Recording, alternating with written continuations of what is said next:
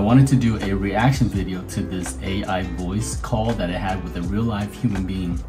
And I haven't watched this video yet, but it sounded so cool that uh, AI is having a real life conversation with a human being. I want to see how it goes and uh, talk a little bit about AI.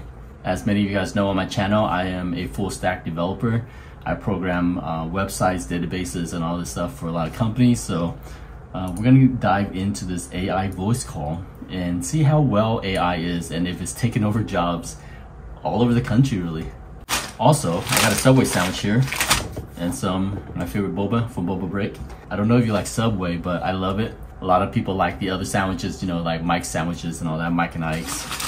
But uh, I really like Subway for some reason. And I just get the cold cut. Uh, for a lot of programmers here, you know, we sit on the table all the time. We're just like, it's just sitting all the time. And so we can be kind of unhealthy with our eating habits. And so, you know, instead of eating fried chicken, chicken wings, burgers, sandwiches, and all that, so just got a Subway sandwich. So, you know, excuse me as I eat and do a reaction to this video. Let's jump right into it.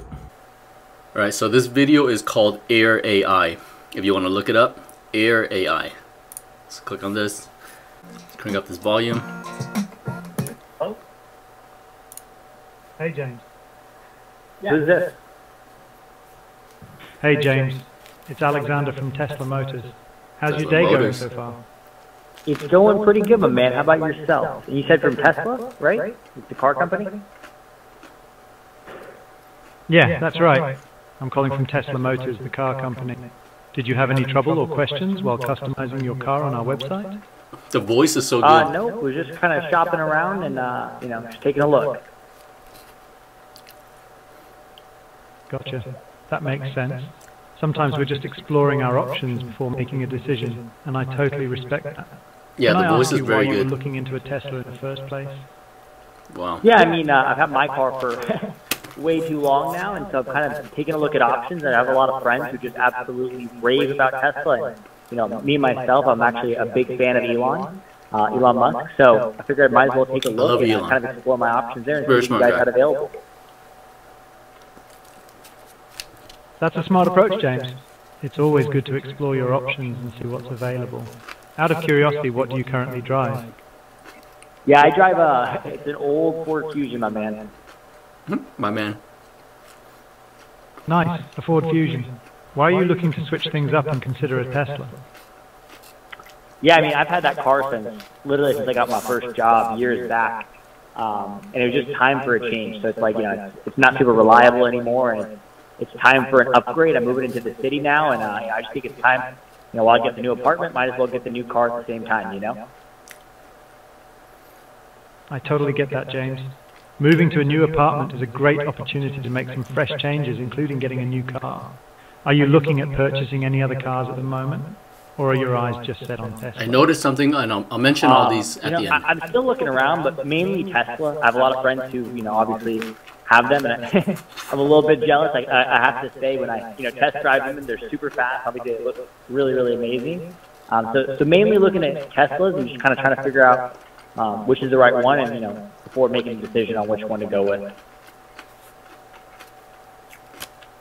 Well, let's change that as soon as possible then. It looks like you're in Omaha, Nebraska. Is that right? Yeah, correct. It knows his location. Great. What if I do this for you? What if I schedule a time for you to come into a dealership near you to give a Tesla an official test spin and you can see if this is the car that makes sense for you? Is that something you would be down for? You'll be down for Absolutely, it. that would be amazing. The language is good, you know. Awesome. Well, it looks like we have a 7 p.m. or an 11 a.m. available in Omaha time. Which time works best for you? You gave him options. That's good. Um, let's do the seven o'clock. Great. I'll lock in that time for you. You're all set for a test drive at 7 p.m. Anything else I can help you with, James? Nope, that's it. I really appreciate you giving me the call. Well, it was my pleasure speaking with you, James. I can't wait for you to give a Tesla a spin. There's nothing like it, in my opinion. If you have any more questions or need assistance in the future, feel free to reach out. Have a great rest of your day. You too. Bye bye. Thanks so much. Okay, so with that video, I have two things I want to talk about and discuss. It's very good, very good voice call.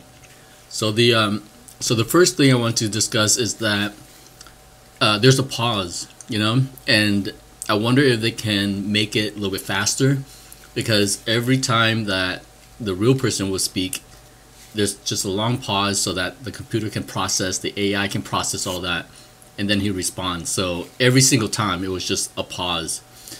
And um, I wonder if they can make it a little bit faster with faster computers, maybe faster processing speed on that.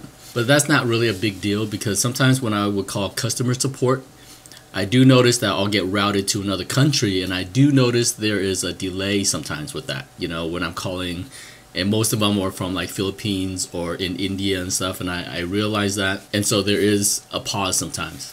But I do notice that uh, pause is pretty noticeable. But that conversation is very smooth. I, I think is very good for customer service because with humans, sometimes you know, they sometimes you get grumpy with how many calls you go throughout the day and you can just have a different voice. But with AI, it's consistent and it'll always keep up with the pace It'll get the right information. There won't be any errors, I don't believe, because it's it's looking for the right information every time. If you're wondering, I got a cold cut on wheat bread with uh, everything on it with pepperoncinis and salt and pepper, oil and vinegar. And this is a passion fruit green tea. Mmm. The other thing that I wanted to see was that I wanted the live human to, uh, I'm just going to call him human. I wanted him to interrupt the AI while it was talking. So when it gave him that time option of 7 or 11 a.m., I wanted him to like maybe say 7 and, and then while the AI was responding, I wanted him to interrupt the AI and go like, oh, I changed my mind. Let's make it 11. And I wanted to see how the AI would have processed that.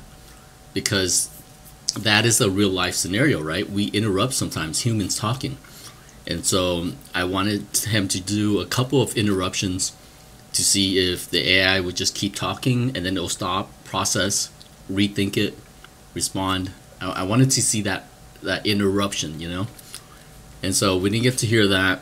And then maybe throw in a hard question or something like that, maybe to let the AI respond. I think when something like this rolls out, there's always live human beings on the other end that's monitoring it. Maybe one or two guys that's monitoring these phone calls. And in case something happens, the AI will just route it. And, and he'll be like, oh, I can't answer that question. Let me route you to someone who can get you better information on that. And then it routes it to a real live person. I believe that happens a lot today in other customer support, something like something like that that deals with automated systems I know they do that. There's always a monitoring system, you know, but it's less people, right? It's le- it's less workers, less humans sitting on a phone speaking to people, and so I I do think this is a really cool thing. It it's hard because it is going to take those jobs away from the customer support, right? But it can keep up. It can do it 24 7. It, it can just keep going without losing steam without losing brain power without getting angry or whatever you know because those are some rare cases and um, but it, it i don't think it can do that the only thing that can happen is if there was a power outage and then you would just you can't speak to the ai or if there, there was a network problem and then you know it won't be able to respond but i, I think it's kind of rare in uh, today because um, with technology, there's always backup servers and backups and, and all. You know, uh, just look at how our internet is today, right? Most of the times, it's always connected. So I don't think there will be any issues with that.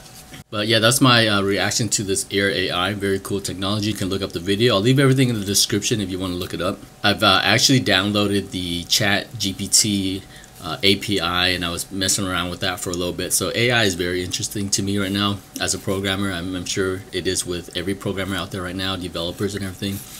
You know, we're learning about it. We're diving into it just to see where it can take us with AI. So it's very interesting to me right now. And I know it's very interesting to a lot of people. Uh, a lot of companies are incorporating AI right now. And, and the AI that they're incorporating right now, it's more of a help tool it's like a window where you can type in to get to get help. It's like an advanced Google. The way that I think of AI today is that it's just a very advanced Google really. Uh, it's just a place to get information to help you faster, better. And so, yeah, I, I just think of it as an advanced Google at this point right now. I hope you like this type of video. I'm gonna look for more type of reaction videos to programming, and uh, I don't know. I think it's kind of entertaining. So let me know what you think. Let me know what you think about AI in the comments. Give this video a like. Help me reach my goals in my subscribers here, and I'll see you in the next video. Peace out. Go eat Subway.